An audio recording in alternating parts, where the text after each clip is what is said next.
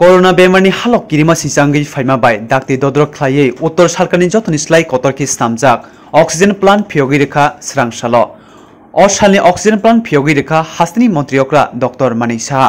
আবনি লগে লগে অসাল আইজিএম সাখাম নক গানাও তংমা পুখরি নক তালকে সাজগৈ তিসাজাকন চেঙ্গি রেখা মন্ত্রীকরা অক্সিজেন প্লান্ট ফিয়গৈ রিমানি বিসিংতি করোনা বেমার বাই চপ্রবজাক তে কুবুনি বেমারকনি ব কাহাম ওংনাই হাসনি লুকুরকনি হামক্রানি বাগে।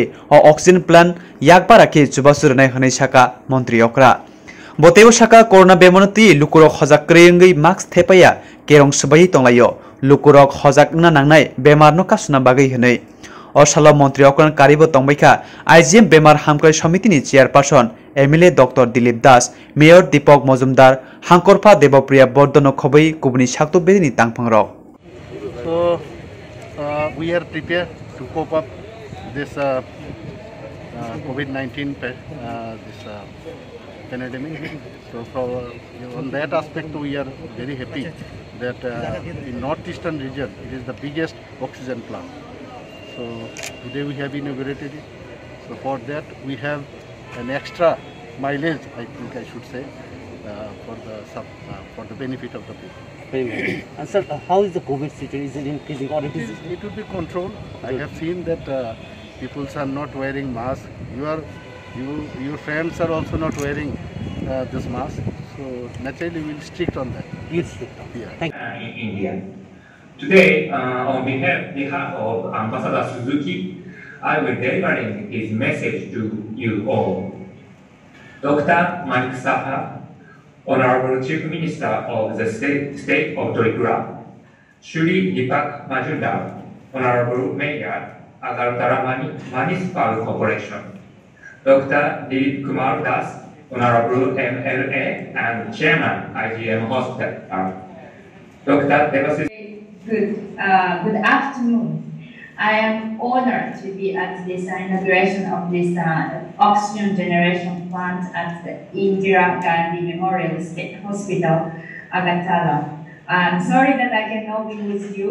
Uh, demand থাকে অনেক কিছু কিন্তু কষ্টে আছে অনেক সময় অনেক জিনিসে অনেক বেশি চায় অনেক কিছু এক্ষুনি ট্রিটমেন্টটা হতে হবে এক্ষুনি আমার এক্স রেটা হয়ে যেতে হবে এমআরআই হয়ে যেতে হবে। তো বুঝাতে হবে সে আর আমাদের এখানে আরও যেটা খামতি, সেটা হচ্ছে আমাদের আমি দেখেছি এই জায়গাটা মানুষকে সাথে এবং অ্যাওয়ারনেস প্রোগ্রাম দরকার। কারণ প্রথমেই ডাক্তারদের, ত্রিপুরা ডাক্তারদের বিষয় এবং থাকে, অনেকে এখানে তো চিকিৎসাই হয় না। চলো কলকাতায় যে প্রথমে টিকিটটা কেটে, ভর্তি হলো কোনো রকমে, টিকিটটা কেটে নেয় বাইরে। আবার কলকাতার মানুষ চলে যায় কোথায়? চেন্নাই। আমাদের এখানে অবশ্য ডাইরেক্ট চেন্নাইও চলে যায়। আর চেন্নাইয়ের মানুষ চলে যায় কোথায়? সিঙ্গাপুর। শেষ পর্যন্ত কোথাও কিন্তু মরতে গেলে সিঙ্গাপুরেও মরে, আমেরিকাতেও মরে, সব জায়গায় মারা যায়। এটা বুঝতে হবে যে এখানেও ট্রিটমেন্ট সম্ভব। আমার নিজের টেন্ডুকিলিস বাচ্চা হয়েছিল আপনারা খেলতে গিয়ে আমার final match I was winning the match আমাকে সবাই বলছে, চলো চলো, কলকাতায় চলো কলকাতায়, চলো। আমি বললাম, না, আমি এখানে ট্রিটমেন্ট করব। এবং নাইসলি আমার বন্ধুরা অপারেশন করেছে গ্রাফটিং করেছে। এখন তো আমি হাতি খেলি খেলি, এরপরেও খেলেছি আমি। আবার আমাদের with due respect to our special secretary দিলেন, আমাদের যতীন দত্ত মহোদয় আপনারা সবাই চিনেন, ডক্টর যতীন দত্তকে সবাই চিনেন। ওনারও টেন্ডুলিস বাচ্চা হয়েছিল, কিন্তু উনি ওখানে তখন আরেন আরেন পুরুষ না ইয়েতে, হাওড়াতে। ওনাকে দিয়ে চিকিৎসা করিয়েছেন, একদম পাটা ইনফেকশনে খুলে গেছে। অথচ আমার ডাক্তার বাবুরা আমার এখানে করেছে তো ভালো আছি। আমাদের উপর কনফিডেন্সটা কম। আসলাম আমার আমার এখনও মনে আছে একটা প্রেশার যে কি ব্যাপার? ওকে ট্রান্সফার রেফার করে দিতে হবে। বললাম, করব না। মেক্সিলা ফ্র্যাকচার আমি করেছি নেজাল ফ্র্যাকচার আমি করি জানি। মেন্ডেবল ফ্র্যাকচার কন্ডাইল ফ্র্যাকচার এগুলো জানি কেন আমি পাঠাবো? বলল না আপনি করে দিতে হবে। তখন একটা ছাত্র সংগঠন এসে আমাকে খুব প্রেশার দিচ্ছিল আমি করব না। টিএমসির মধ্যে আমার তৎকালীন সময়ে যারা আধিকারিক ছিল আমাকে ফোন করে বলছেন যে আপনি ওকে রেফার করে দিন। বললাম কেন? বলল না, একটু ওরা তো ছাত্র সংগঠনের লোক বুঝতে পেরেছে ইউনিভার্সিটিতে একটা নিয়ে আসছিল, একটা জনজাতি সম্প্রদায়ের, তাকে একটা বিএসএফ এর গাড়ি ওকে ধাক্কা দিয়েছে এর জন্য, ও ফ্র্যাকচার হয়েছে তা ইত্যাদি। ঠিক আছে, আমি করব না। বলে তো লামা দিয়ে যদি যেতে, তাই এমন সময় আমি চেম্বারে বসে আছি, হঠাৎ করে একটা বিএসএফ এর একটা লোক আসলো। বলে স্যার, আমি ড্রাইভার বিএসএফ এর আমার গাড়িতেই অ্যাক্সিডেন্ট হয়েছে। কি সমস্যা? বলল, না, ওটা বলছে, তিন লাখ টাকা লাগবে। কারা বলছে? ওই যে যারা ছাত্র সংগঠনের লোক, তারা বলছে। তো কত খরচ হবে? আমি এত টাকা আমি দিতে পারব না। বললাম, এখানে কত? প্লেটের দাম ছ সাত হাজার টাকা পড়বে, বাসেই অপারেশনের তো চার্জ লাগে না আমাদের এখানে?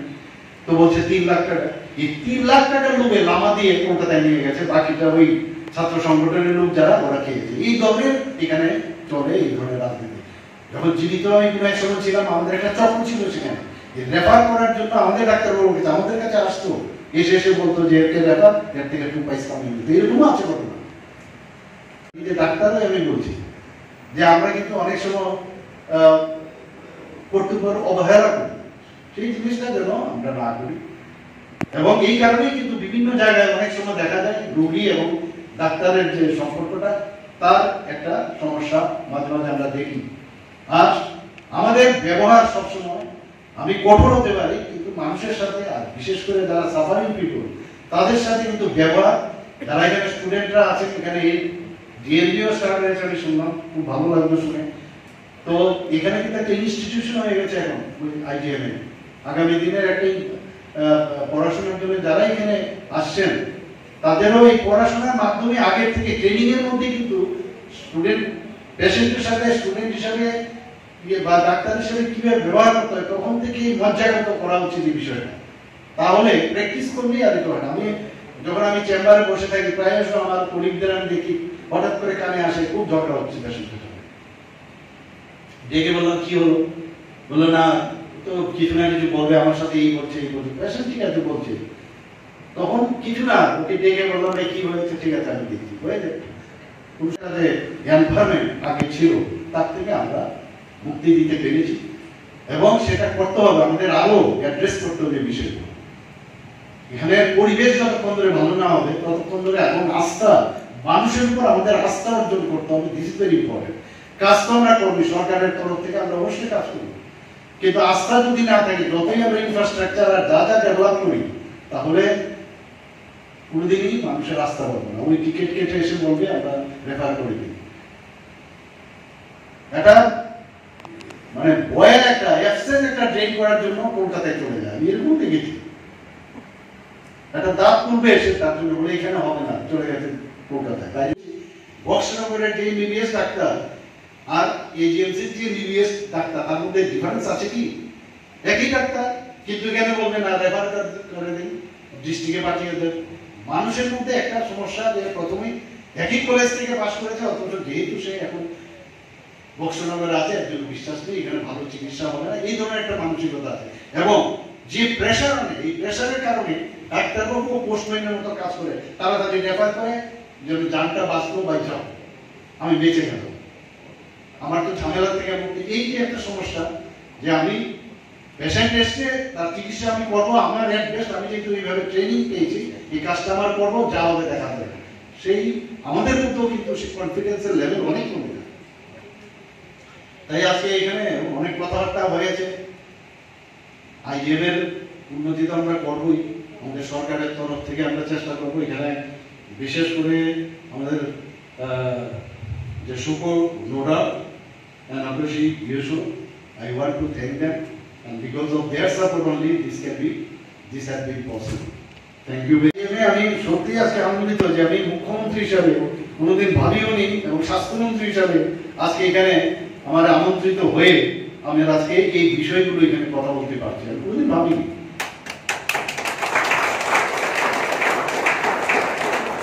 একটা আলাদা আমাদের একটা মানে সেন্টিমেন্ট জড়িত আছে এই অনেক কারণ, অনেক বিষয় আছে যেগুলো, অনেক বিষয় এখানে বলা যাবে না। তো এই হসপিটালকে তো করবোই। আমরা সারা ত্রিপুরাতে আমরা ইভেন বিভিন্ন প্রাইমারি হেলথ সেন্টারে আমরা চেষ্টা করছি সাব সেন্টারে আমরা চেষ্টা করছি। যাতে আমাদের সমস্ত জায়গায় যা যা মানে যেখানে আমাদের স্বাস্থ্য পরিষেবা দেওয়া, সেই ব্যবস্থা আমরা করতে পারি। সেই চেষ্টা আমরা প্রতিনিয়ত করছি। এবং বেশিরভাগ ক্ষেত্রে দেখা যায়, আমি এক এক জায়গায় বলি যে ডাক্তাররা কিন্তু এই পৃথিবীতে যে কোনো মানুষ আসলে ডাক্তাররা সার্টিফিকেট করে যে ইউ আর বর্ন আবার মৃত্যুর পরে ওই ডাক্তারই লেখে ইউ আর ডেড এর থেকে বড় আর কি আছে বলুন আপনারা বলুন? ডাক্তাররা তো এর জন্যই বলে যে বেস্ট প্রফেশন এর থেকে বড় প্রফেশন কিছু হতে পারে না। যে এখানে পৃথিবীতে আসে, তার সার্টিফিকেট লাগে যে তুমি জন্মগ্রহণ করেছ। তার সার্টিফিকেট মারা মারা যাওয়ার পর তার সার্টিফিকেট লাগে। একমাত্র গড গিফটেড না হলে ডাক্তার বা তার সাথে যারা যারাই আছেন প্যারামেডিক্স আছে, আমার স্বাস্থ্যকর্মীরা আছে, সবাই কিন্তু একটা নোবেল প্রফেশন আছে। কিন্তু এই নোবেল প্রফেশন আমরা কি দেখি? মনে হচ্ছে চাকরি করতে এসেছি, যে কোনো রকমের মানে টাইম দিয়ে এসে খালি হাজিরাটা দেওয়া, কিন্তু আমি সবার জন্য বলছি না, কিছু কিছু ডাক্তারদের আপনি ব্যাংকে যান, ব্যাংকে আপনি দেখবেন একমাত্র দশটার সময় ঠিক কাটায় ড- ব্যাংকের মধ্যে এই যারা এই রিসিভ সেকশনে থাকে, ক্যাশ কাউন্টারে বিশেষ করে, বা সব জায়গায়। দেখে একদম অন টাইম তারা পৌঁছে যায়। কারণ তারপর বারোটা রাত্রে এখন তো আরও কম্পিউটারের কারণে তার হিসাব মিলিয়ে যেতে হয়। রাত্রে দশটা এগারোটা পর্যন্ত কাজ করে। কাজ ইমিডিয়েটলি হতে হবে। সব জায়গার ইমিডিয়েট ছাড়া কোনো শব্দ নেই। আমার আমার যে ডিকশনারি সেটা হচ্ছে ইমিডিয়েট রেজাল্ট টাইমার এবং সেই কথা আমি বলে দিয়েছি অলরেডি কিছুটা এরা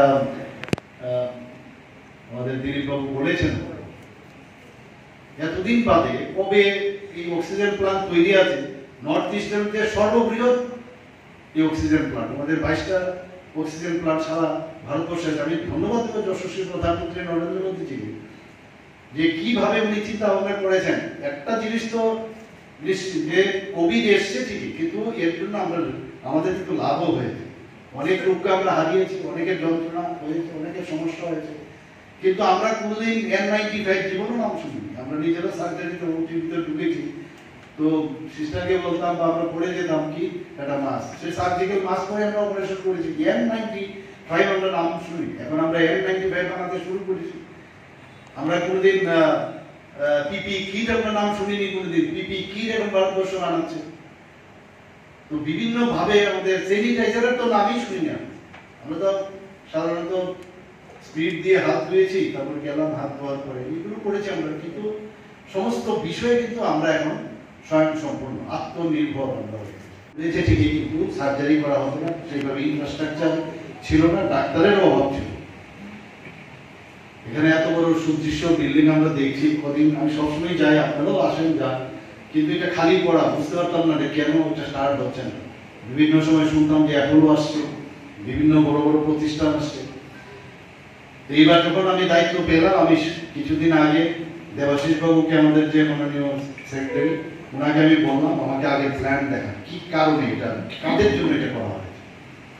সেই প্ল্যান দেখে আমি দেখলাম যে অর্থোপেডিক্স নিয়ে এসেছিল থার্ড ফ্লোরে না সেকেন্ড ফ্লোর থার্ড ফ্লোর তাই বলে আর অর্থোপেডিক্সের পেশেন্ট থার্ড ফ্লোরে কি করে যাবে?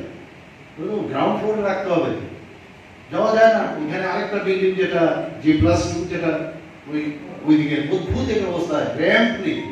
র্যাম্প ছাড়া কোনো হসপিটাল হয় কোনো কোনোদিন। এখনও কিন্তু আমার মনে একটা বিরাট কোশ্চেন র্যাম্প ছাড়া তো হসপিটাল হতে পারে না, বানিয়ে দিয়েছে। কোনো প্ল্যান নেই। আমার তো এই বিলিং হয়েছে ঠিকই তাহলে আরও সুন্দরভাবে এটাকে আরও ব্যবস্থাপনার মাধ্যমে যদি সুন্দরভাবে আরও চিন্তা করা যায়, তাহলে বেস্ট ইউটিলাইজেশন করা যেত এটাকে যাই হোক, এখন যে বিলিং হয়েছে তার প্রপার যাতে ইউটিলাইজেশন হয়, আমি অলরেডি বলেছি, যেসব দপ্তর ডিপার্টমেন্টগুলো আছে ইমিডিয়েটলি যেন এগুলোকে এখানে স্থানান্তরিত করা